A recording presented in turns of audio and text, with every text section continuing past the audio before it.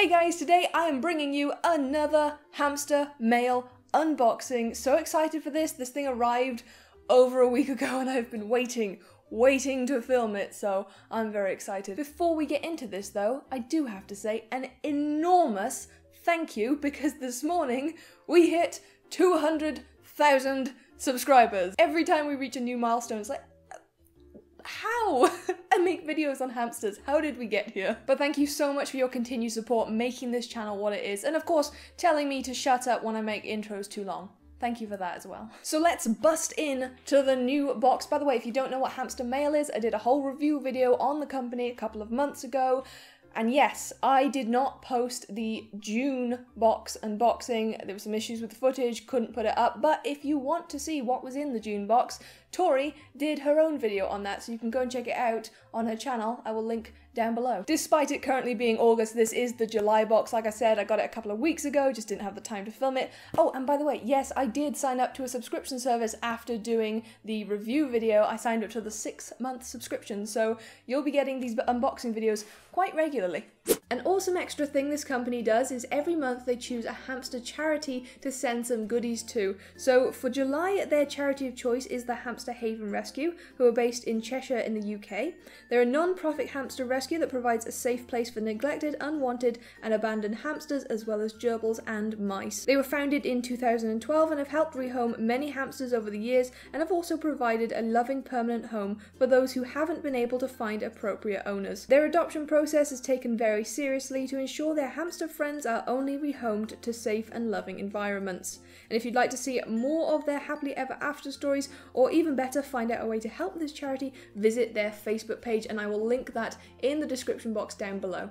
So now let's get into the contents of the box. Oh, I'm gonna have to rip this. I hate ripping this, it's so cute. Must we tear the cute things? Da so like last time, let's begin with the treats. And first of all, we have the Rosewood Naturals shrimp cookies, which contain cereals, seeds, vegetables, shrimps, prawns, nuts, egg, and egg product. Now, this is again something I have used in the past, and these were very, very popular with my past hamsters that I've used them for. And I'm particularly excited to see Osmium try these out because she does love her crustaceans. Iodine, on the other hand, is a little more fussy, so she may not like these, but Osmium will go crazy for so she may end up getting the entire packet to herself. I'm a little more cautious about giving things like this to zinc because they can be quite high in protein, and with mice you do have to be careful about not giving them too much protein because it can have negative effects on their health. Treat number two, ooh, this looks interesting. This is not something I've used before. This is the Healthy Hopper Critter Crunch, which contains locust bean treats, rose hips, mealworms, and silkworm pupa. So again,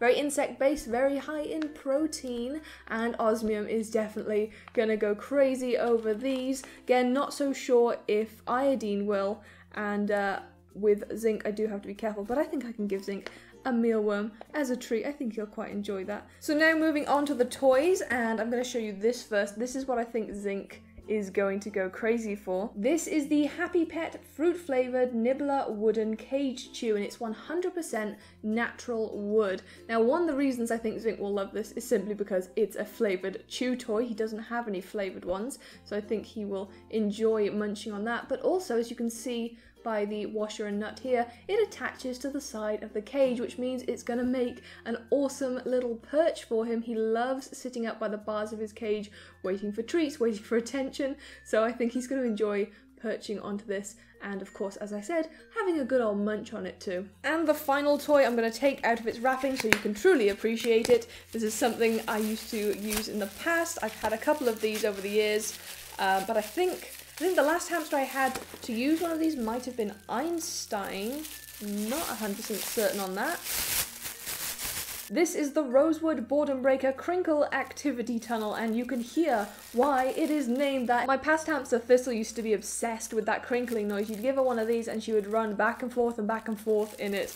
I don't know why she loved it so much. I think I might give it to Iodine since Ozzy's probably going to end up munching on all the treats anyway. So I'll see what she thinks of that later. They are fast asleep right now, but I think she's going to find it interesting. And if she doesn't, I'll just give it to Ozzy. Now, one thing you should be aware of with this particular toy is the material it's made out of. It's a kind of uh, thin, plasticky, almost like a raincoat texture. So if you have a hamster that you know is an excessive chewer, you know is going to chew on this, do not get it for them. I don't recommend giving this to any hamster that is going to chew. Neither of my hamsters are known chewers, so that's not really something I have to worry about. But even so, even when I give them toys like this, I still make sure to check them regularly for any damage because if you spot any kind of chew marks, any over interest in a toy like this, you should definitely remove it for their safety. So that's everything that was in the July hamster mailbox. And if you're a little bit sad as to how soon this video has come to an end, don't you worry because I have another unboxing from another company coming up later this week that I think you guys are going to love. It's a fantastic company. Seriously, hang on for that video. And after that, I also have a whole video. So lots of stuff. Anyway, if you enjoyed this video, please don't forget to leave a thumbs up. You can also share it with your friends and subscribe to the channel if you haven't already. Thank you so much for watching. This is my dog making noise on the floor. Thank you so much for watching and I'll see you guys next time. Bye bye!